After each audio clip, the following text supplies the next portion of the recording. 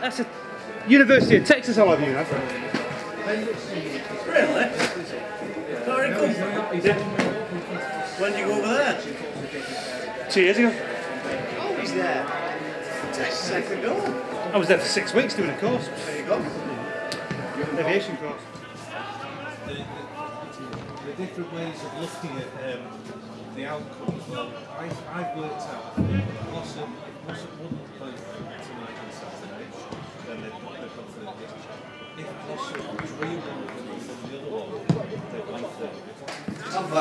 Dublin football. now. So where is it is tonight? Who knows? But at 7:51, we do get underway, and it's Northwich have got the ball down their right hand side.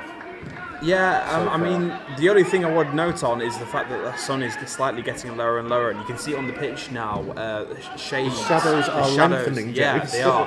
that Um, sounds very poetic. Is Aston Mulholland? Brett He wasn't offside there, Mark Reed. Oh, and that was a great ball from Ashley Mulholland. It's yeah, the only thing I would say, Tim, is um, I'm, I just got this feeling that I'm biased. No, not at all, not, not biased. Of course, it's Hillman Radio. What, I, what I must say is you've got two up front, and then everyone else seems to be just hovering on the halfway Mark line. Reed there. that- Oh, and it's going to go. It's a goal to Glossop North End. I don't know who is going to claim that one. Mark Reed was the closest to the ball. Jamie Ravenson, I just, I don't know who that's going to be given to. I really don't. I really don't. Oh, that- it's a terrible mistake by Springthorpe in the, the Northwich goal, who attempted. Number ten, of Josh Amish, and uh, ball played in low, and picked up really well. Straight away, Surrey Street. It's so enclosed and so you know, narrow. You can imagine from the trenches it's just a wall of noise. Exactly, and that's a great ball. Aston Mulholland, Jamie Rainford now. He's going to test Watson. Can he cut in the side like he did before? He does. He's going to look for that top corner. Oh, and in the end it goes oh, outside. Yeah, Matt Russell. Matt Russell tracking up. Dave Young there looking for the. They're putting a lot of pressure on this uh, Northwich defence. And there's Martin Andrews in midfield finding Jamie Rainford. He hooks the ball over his shoulder. Oh, he's still going. Oh, and that was an Ashley Mulholland shot, I think. Each.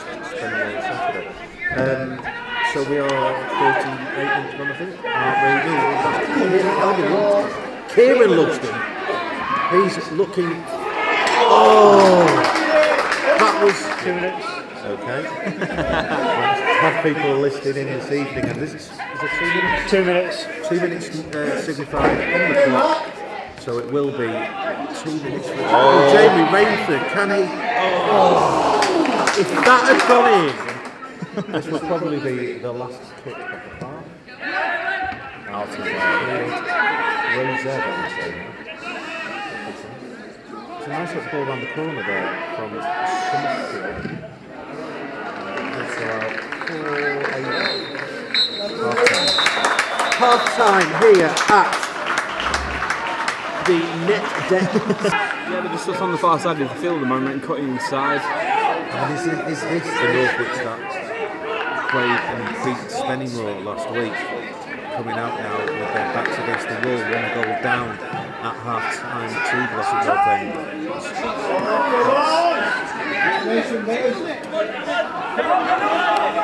Glossop North End. Kieran Williams, yes, it is Kieran. Sorry, I couldn't see him in the. Oh, that is a very good save from Robertson. As the Really took some so his head off. yes, well, Dave Young was quite uh, angered at last Saturday and absolutely belted the ball out of the stadium. He's got all his anger. This is going to be a long throw, but it's defended by Glossop, and then Long ball into the far end for the box. Oh, and Oh, he's and I thought that was in. I really thought he's got his flown by. Martin Parker there. Martin Parker and Andy Watson showed him there, didn't? Yeah, Head to it head is. head. It's, again, it feels like a cup final. Yes, It, does. it really does. Which- and it, It doesn't surprise me that, John, because that's, it's nice, it's pretty. it's uh, really come down to the wire here. The referee having a little look at his watch, I think. That must be surely. And there it is, there is the full-time whistle, and of the two games that are coming up, Glossop North End take the first one by a goal to nil here away at Northwich, which really looking at